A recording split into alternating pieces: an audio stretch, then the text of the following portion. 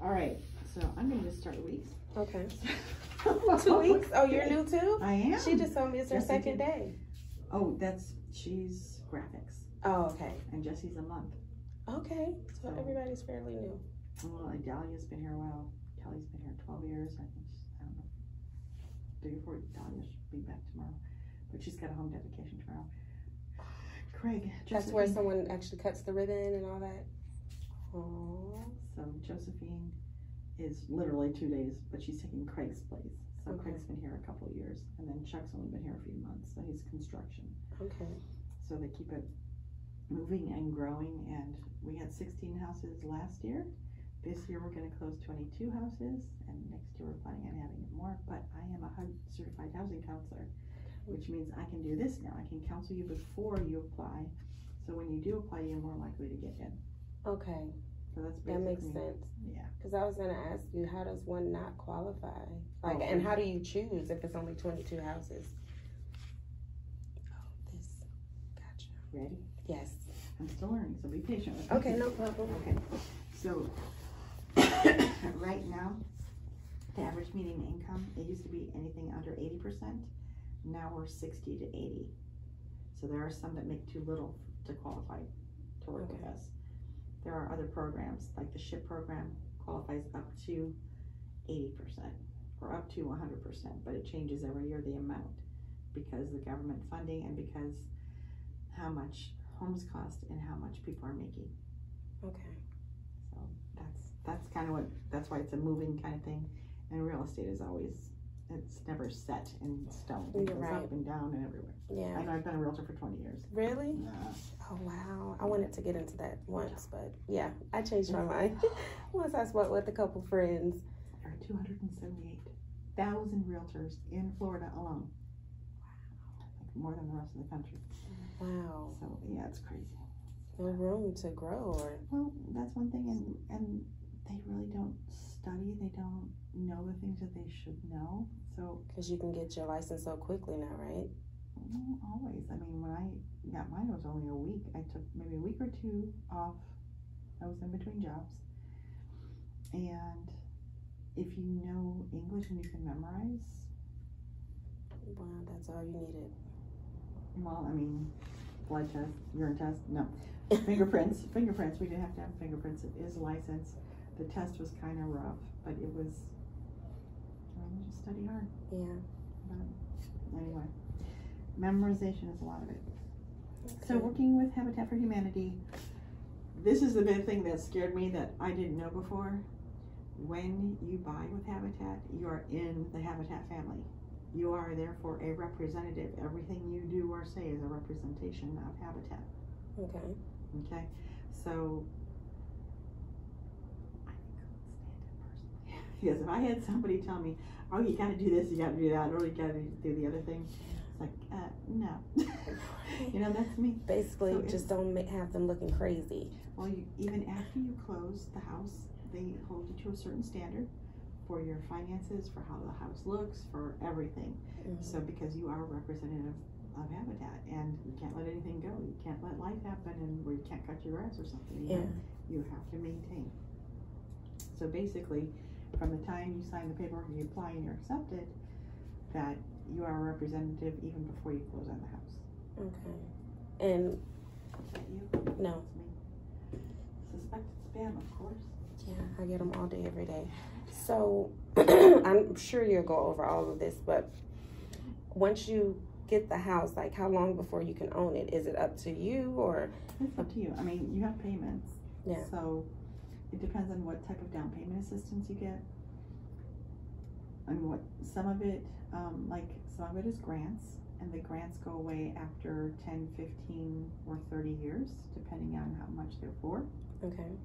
So the larger the grant, the longer time you, you have to stay in the house as your primary residence. So that means you can't move out and rent it, or you have to pay that money back. Okay. Okay. Um, and it depends how long, normally it's thirty years. Mortgage is thirty years, so we'll split the payments out, your principal, interest, taxes, and insurance are what you pay for thirty years. And then after that, you keep paying your taxes. If you don't pay your taxes, after two years, they sell your house. Okay. and then it goes away, you don't own it anymore. Wow. So the gov, the county governments can sell your houses, if you don't pay your taxes in two years, they can sell them out from under. That's what I always told people. You never really own anything if someone can take it away from you. Mhm. That's crazy. So, but can you pay your pay it off sooner? Yeah, if you make more money and you can, absolutely, Yeah, for sure. because some people I've spoke to, they say no, you you can only pay a certain amount, and others say sure, you can pay more if you want to. So I'm like, I don't know. You can pay more if you want to, if you get it paid off faster. The grants, you have, you still have to live there, you still have to Right, pay your taxes on it. But if you pay the mortgage off early, that's no problem. Okay, gotcha.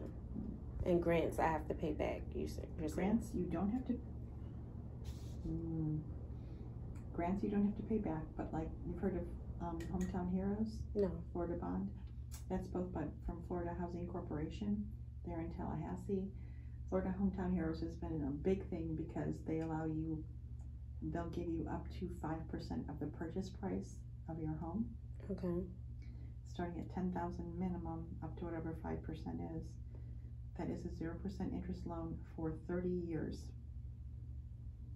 okay, You don't make any payments on it for thirty years. If you happen to get Florida bond, you don't start paying it back until after you've owned the property thirty years, and then you start paying it back. Unless you wanna do it earlier. hmm. That's Florida bond. That's a loan. Grants, like the SHIP funds, you have to stand, stay in those a minimum of like 10, 15, or thirty years. Like I said, it depends on how big it is. The bigger it is, the longer you have to stay in the house. And just Okay. maintain the, um, taxes. okay, So it depends on, I've seen as many as five different types of down payment assistance on a house. really, Yeah. So it just depends on what you have and sh- as, as it goes on and we'll see what you qualify for, yeah. she'll explain each of them to you. Because I was going to say a lot of this is like foreign language. I don't understand any of it, but I'm listening. So, what, yeah. but that's I mean, what you're here for too. in- Yeah, the first couple of years I was in real estate, was like, it was a foreign language to me, for sure. Cause my broker didn't explain anything to me. So then I started taking classes like crazy, like, if you're not gonna tell me, then I'll learn it somewhere else. you know, he would come Yeah. in, he would sit and he would talk on the phone, and oh, I'm so cool, I'm so great, I'm so wonderful. Just sit here and just watch me and learn from me. I'm like, yeah, right. I can really learn that. Anyway, so uh, qualify other types of home ownership programs. We work with hardworking, low-income potential home buyers in the community to build and sell homes with affordable mortgages. Meanwhile, we prepare our Habitat home buyers to be successful long-term home owners.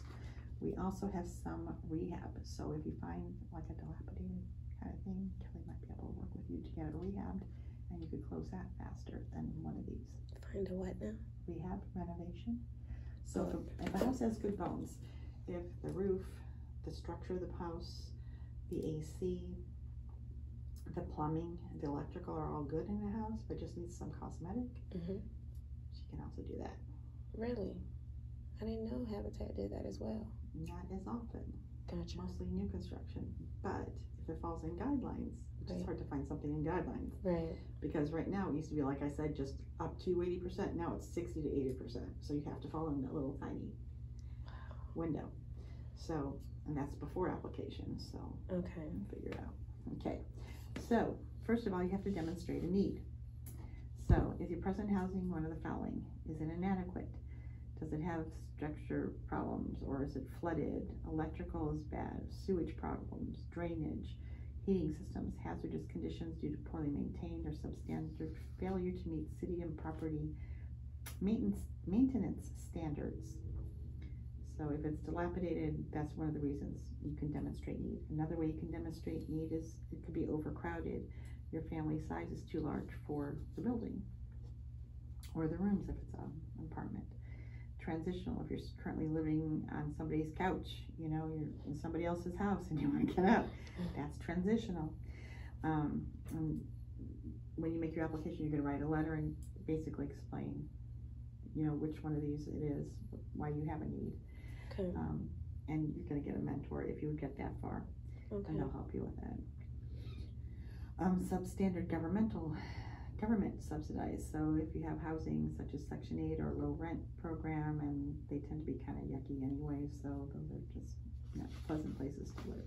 You don't feel safe basically and clean, That's what they're looking at Okay. as far as need goes.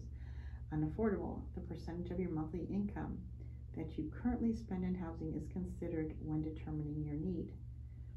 So if it's more than thirty-five percent of your gross monthly income, that's considered unaffordable. So Unaffordable, you said? if it's more than thirty-five percent of your gross Okay. monthly income, then that is not affordable, so it'd be unaffordable, and that would be one of the reasons you can demonstrate need Okay. okay? Your ability to pay. So you're gonna have to look at what type of um, job you have, how long you've had it. At the time you make application, you have to have a minimum of six months of the same job. Now, if you're doing the same type of job four months ago, okay, so your income must be stable. We talked about that already. Do your budget. So every month you're gonna have to turn in your budget. We're gonna do it together. I've got some tools and worksheets and stuff to help you with it before you even get started, so you're used to doing it by the time you get in the program, Okay. okay? Your estimated mortgage payment should be no more than thirty-five percent of your income. That's the same thing for your rent. Okay. It's the Same number. Your mortgage and your other debt combined should be no more than forty-three percent of your gross income per month. Okay. So your car payments, your credit card payments, anything you report to, um, the credit bureaus, Mhm. plus whatever your um, hou- housing cost is going to be cannot exceed forty-three percent. Okay. So you can have more than two thousand dollars in non-medical delinquent debt at the time of your application, Okay. and all non-medical delinquent debt must be paid off before you purchase. Okay. Okay. Credit. Okay. So your ability to meet credit obligations can be evidenced by showing that the potential homebuyer has a median credit score. Tri-merge. Try merge. FICO. Credit score of six twenty. We're gonna change this. We're in the process of doing Okay. So, what are they changing it to? tri-mer- Tri-merge. So, we just say credit score. Well, credit score, there's all types of different credit scores. If you look on Credit Karma, that's a Vantage credit score. When you're purchasing a home, the banks use a FICO, and ninety-nine percent use what's called a tri-merge. So they look at all three credit reports. Mhm. They throw out the highest, they throw out the lowest, and they work with a middle score. That's called a tri-merge. Okay.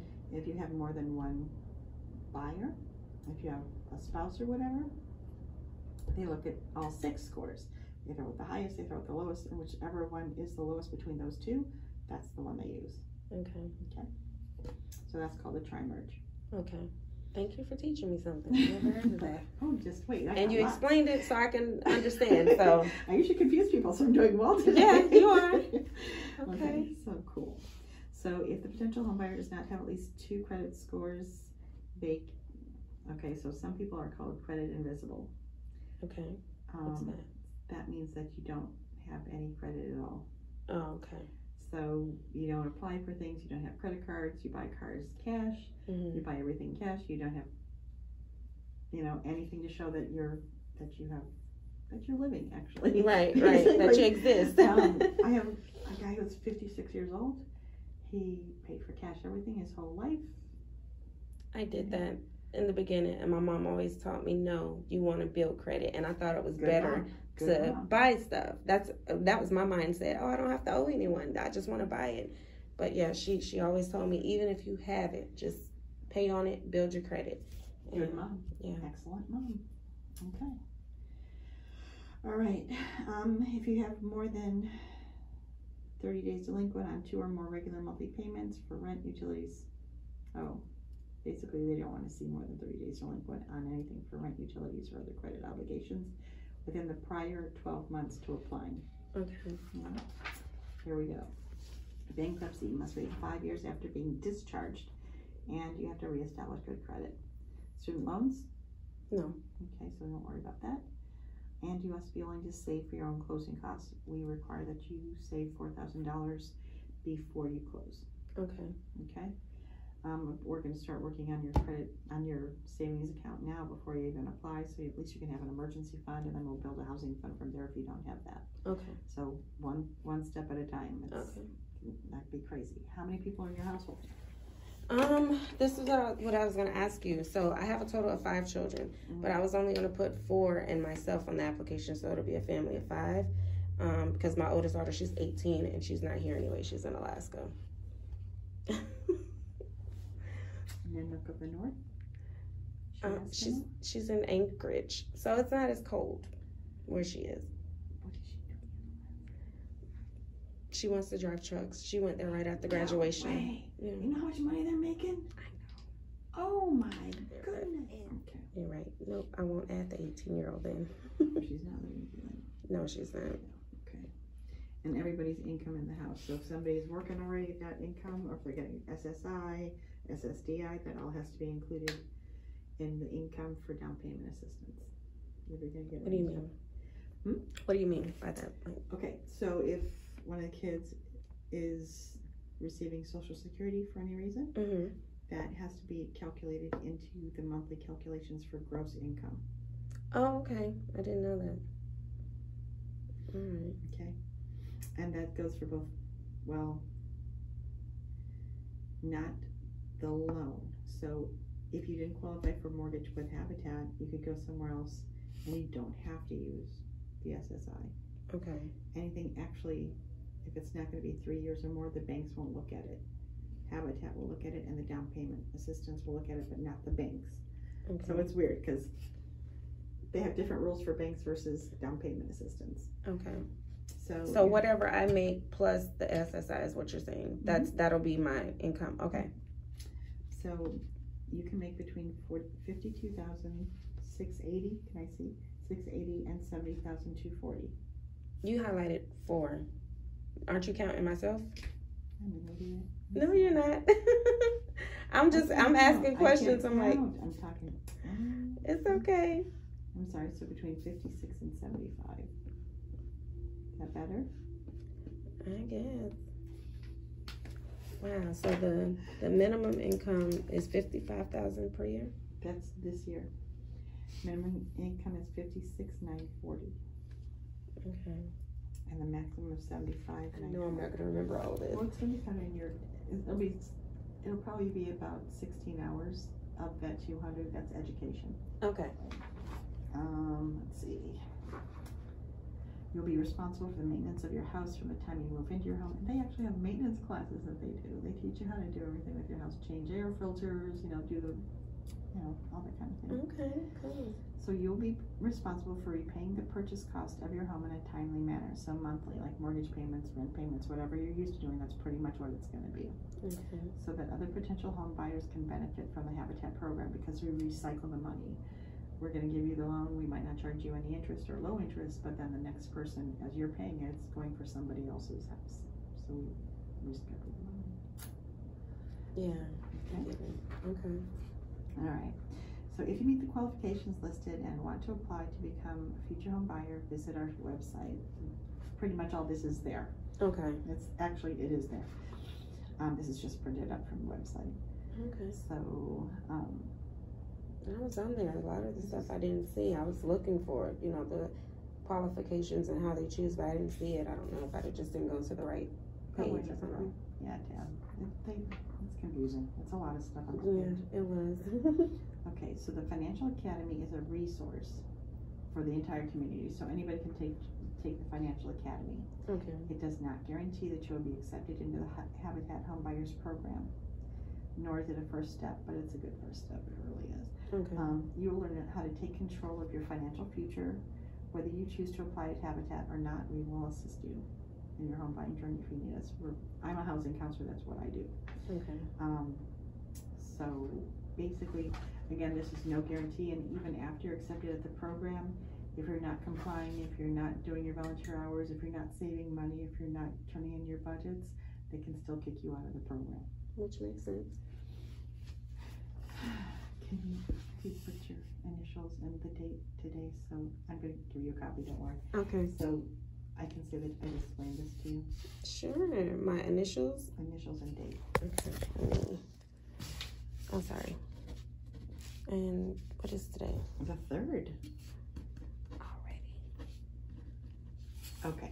Wow, November. My son's birthday is this month. Your son's what? Birthday on the 14th. My sister's birthday. Really? See what you made me do? Sorry.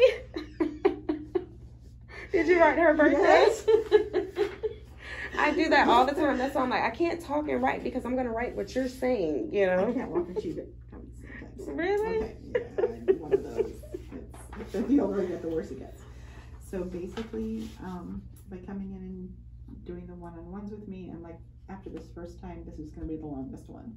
So it'll be 45 minutes to an hour, an hour and a half, depending on what our assignments are for each other and what we're going to do for each other. Okay. But my responsibilities to you, and I'm going to take this out. So I'm a counselor. Okay. So I agreed to provide you with the following service. Development of spending plan, including current bank and credit card statements. That's why I need you to bring those today. Did you bring them today? Okay. Okay, so, so we're gonna have to reschedule, but we'll get this part of it done, Okay. okay?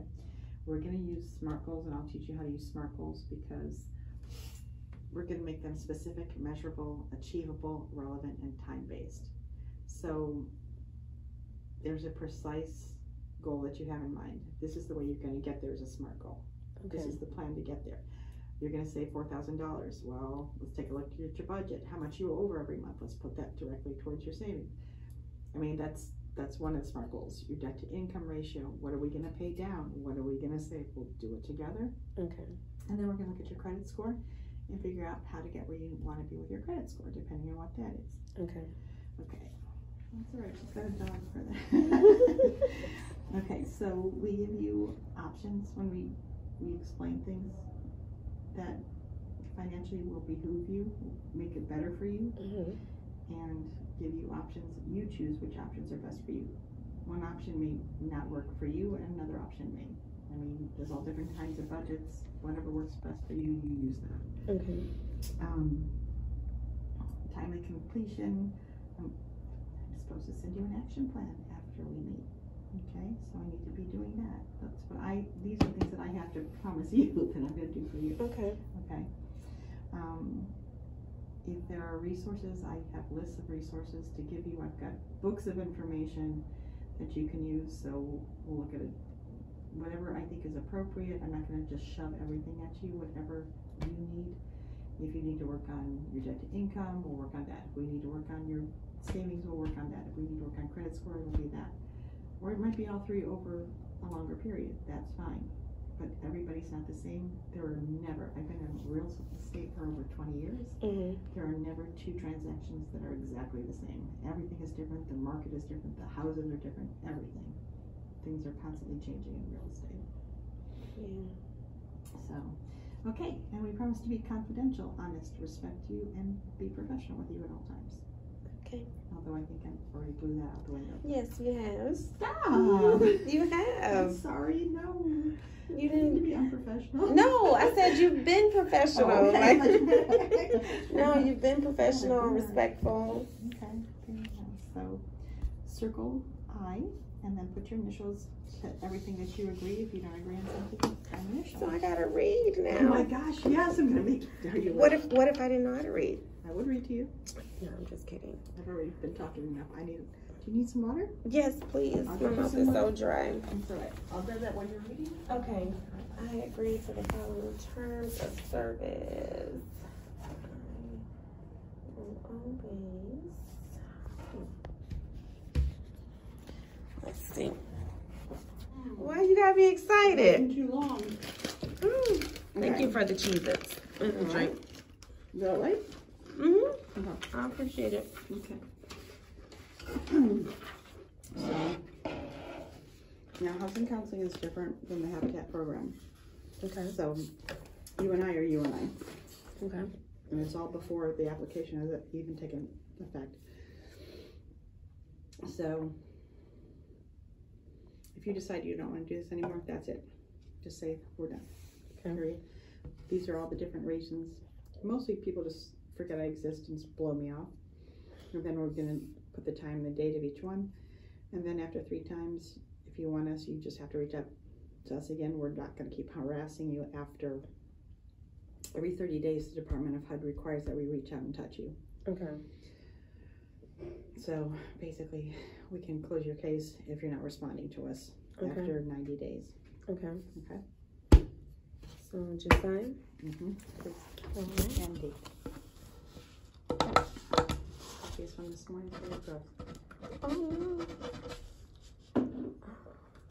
Eleven three, right? I don't know Yes, why. I keep forgetting. Fourteenth. Uh-huh.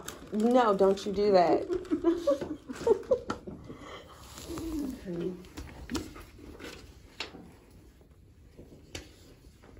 You said I'm gonna get copies of all this, right? So I don't have to memorize it. Okay. Mm-mm. No, you're gonna make me memorize it? Mm-hmm. Okay. So what is this? I have to fill out? Mm-hmm. Oh, I have to do math right now in my head? No. How much money do you make?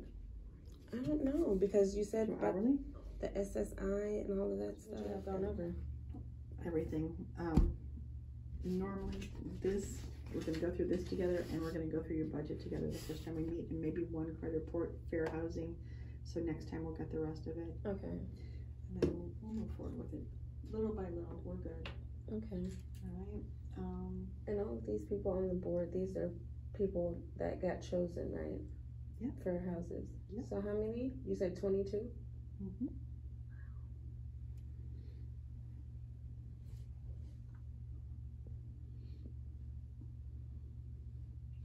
We just got three more lots approved.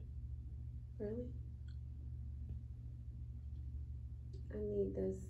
I want this It's so gonna bad. be two years out though. You know, so it's not gonna be a short-term solution. Yeah. I know. And then But I mean, what have I been doing for the past few years, you know? So I may still be in the same situation two years from now. I mean, Well- it's fine to do it long-term, but if, if this will help you short-term, Right. this is a short-term solution. That's a long-term solution. Right. That's, like a SMART goal is, your short-term solution is get into something that's not gonna be changing all the time, something that's gonna be stable housing situation Right. is the first thing. Yeah. And to be something that you own would be a long-term goal. So Mhm. short-term is within the next two weeks. I think right Long-term now. is like two years. Yeah. So different goals for different situations. Yeah.